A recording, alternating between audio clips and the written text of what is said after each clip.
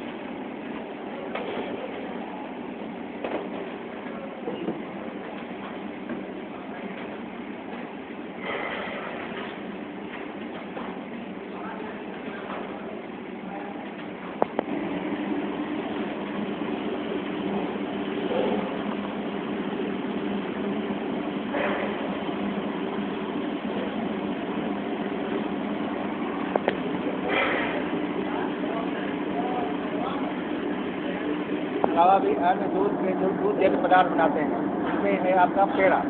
पेड़ा का ये जो है गोवा मशीन है ये डीजल ऑपरेटेड है।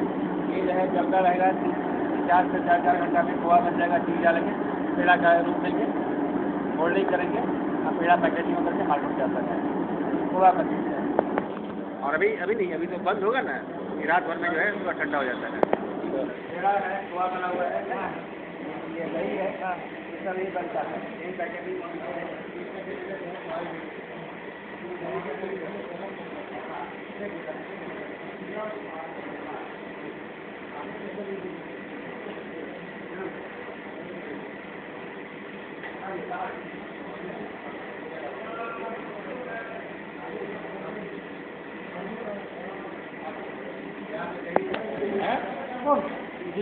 वीडियो पनीर